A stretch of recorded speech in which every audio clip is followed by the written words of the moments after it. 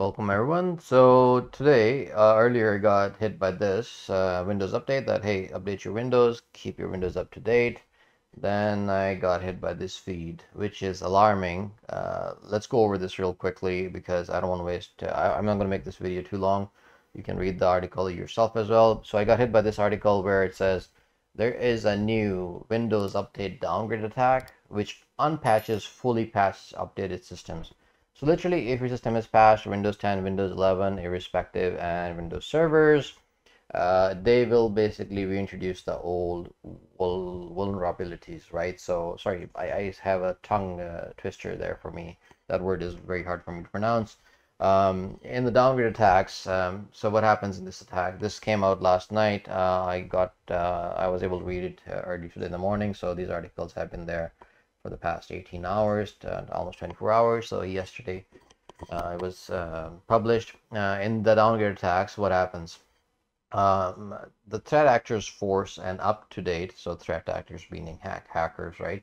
Force an up-to-date target device to roll back to older Windows or older software versions, reintroducing the loopholes uh, that can be exploited to compromise the system.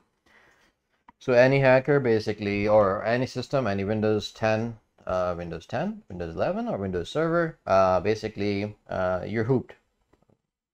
Hopefully it hasn't been it hasn't been um, used yet, but because nobody knew about it, probably, or maybe they did and they didn't share it. But Alan, so this is the guy so the security researcher Alan Levi or Levy, I, am going to say Levi, Alan Levi discovered that Windows, sorry if I pronounced the name wrong, uh, discovered that Windows update process could be compromised to downgrade critical operating system components, so including the DLLs and the NT kernel. Even though all of these components were now out of date when checking with Windows Update, the operating system reported that it was fully patched. So basically, he's I think he's doing checks by manually going to the Windows Update and seeing if the versions are correct or not. But the operating and then they were basically out of date. So like for example, today's update uh, might have been reverted back to like a months months before update or something, a kernel or a DLL file, right? The OS reported that it was fully patched. So my system, so this guy, like you know, your Windows updates are gonna say, hey, you're fully patched. It says you're up to date, right? So you're fully patched uh, with recovery and scanning tools. I'm not sure what scanning tools he used. Uh, unable to detect any issues. So everything is good, fine and dandy. So what happens is that so by exploiting this zero day loophole, he could also downgrade the credential guard secure kernel and isolated user mode process and Hyper-V is hypervisor to expose past privileges escalation uh, loopholes. I don't know if it's uh, with Hyper-V enabled the feature or if it actually is still um, like, you know hackable through uh, even if you don't have Hyper-V enabled. So even if you have Hyper-V on or Hyper-V off, um, I'm not sure exactly to be honest. They don't really discuss about that in, in, the articles that I read.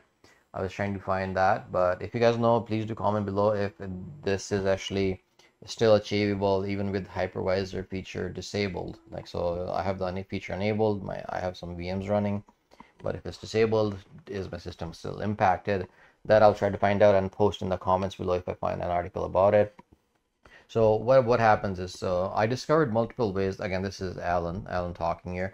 I discovered multiple ways to disable Windows virtualization based security, so VBS, including its features such as credential guard and hypervisor protected code integrity, so HVCI, even when enforced with the UEFI blocks or UEFI locks to my knowledge, this is the first time VBS UEFI locks have been bypassed without physical access. So physical access meaning like, you know, I have access to this uh, system, I have access to these VMs, uh, that will be the physical access. So I'm technically saying you can access the system. So my system can be accessed remotely if my firewall and my uh, whatever securities that I have in place are not up to par. So they can bypass and use that and breach my system uh, even though I'm fully patched, doesn't matter. Uh, according to this article, it doesn't give a damn about it. So if you're fully patched, you're still screwed.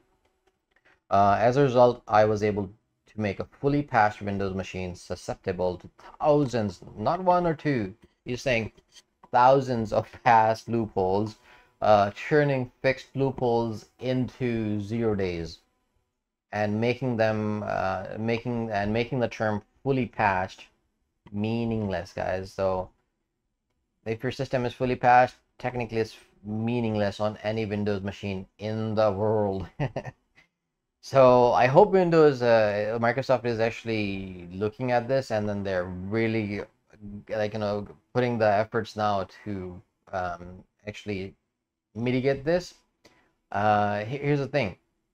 Uh, reporting, reporting it to, so in February, I guess he did report this that his Windows down down date downgrade attack six months after reporting the loophole to Microsoft in February. That they're still working. So here's the thing, they're still working on it, guys. It hasn't been patched, and it is still out there. So Windows or Microsoft needs to really pick up the pace and start working on it. And here, here's the kicker. Uh, let me show you guys. I was able to show, so he was able to show that how it was possible to pass. I don't know how he did that, but I, I'd be interested in seeing how it actually is achievable. Uh, if you guys are out there, if you know how to do this, if you're Alan, I like to see this because this is very interesting.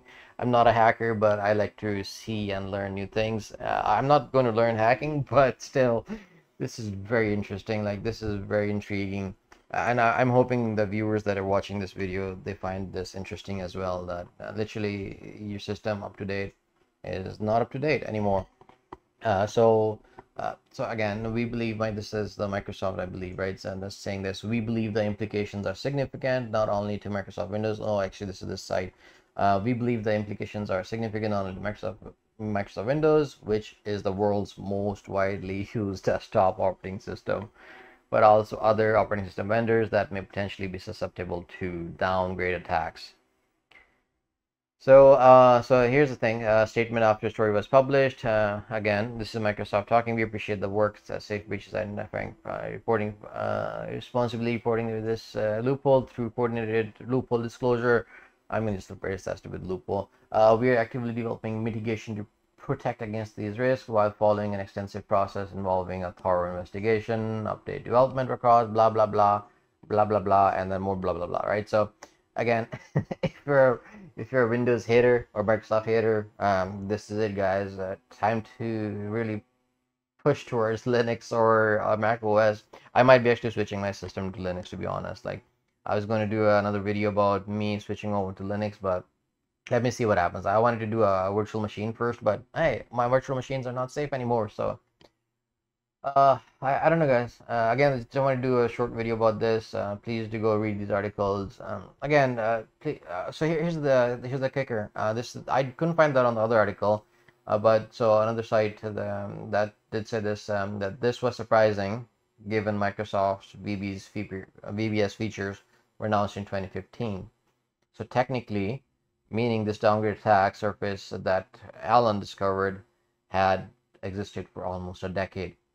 So good thing, I guess, is that nobody found out about it till now. And uh, systems probably haven't been breached using this method. And, and I don't know, maybe they have been, and then it's been hush hush, you know.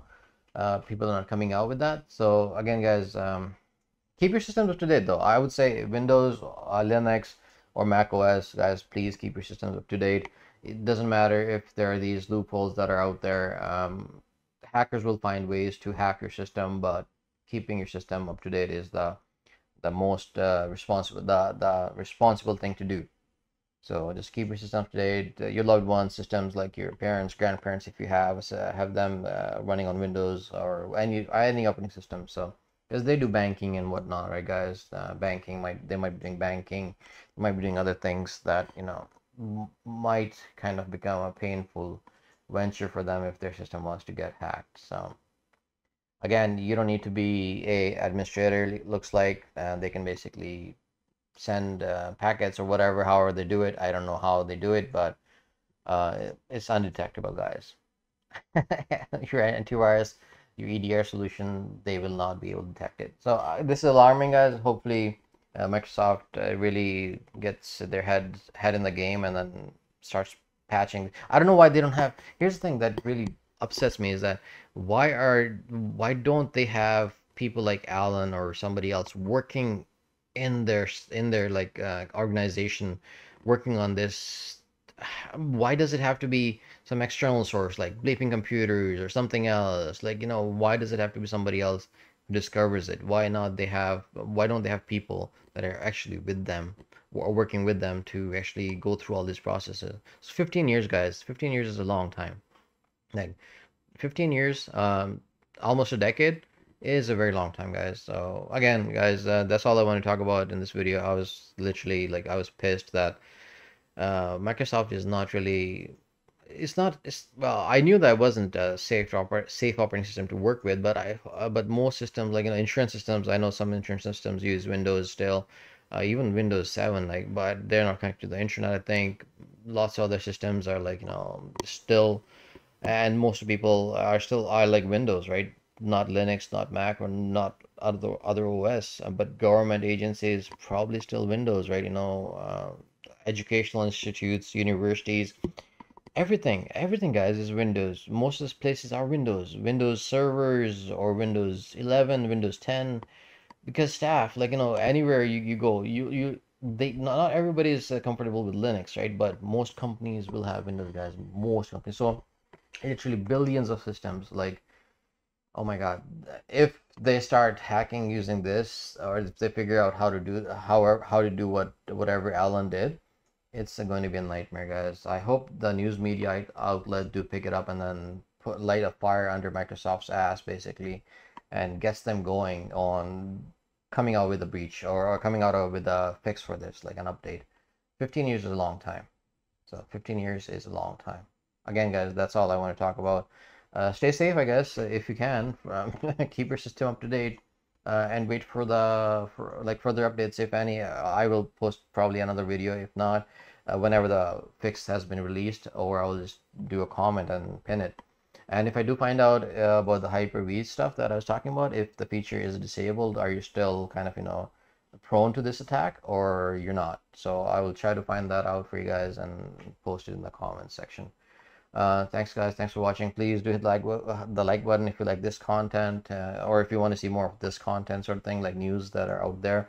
Uh, I really didn't want to focus on stuff like this. This is like a react video. I don't know what this is this video is about but I wanted to kind of share the concerns that I have with Windows and what's happening as of today. So as of right now your Windows is not safe. Sorry to say this. Uh, uh, all right guys. I, I there isn't um, a way to protect it unless you take it off the internet or you up your firewall or your security measures uh, on your home network your work network or whatever right? So um, good luck guys. Um, hopefully we all don't get hacked and hopefully my system is still up and running tomorrow. Thanks a lot guys. Take care. Stay safe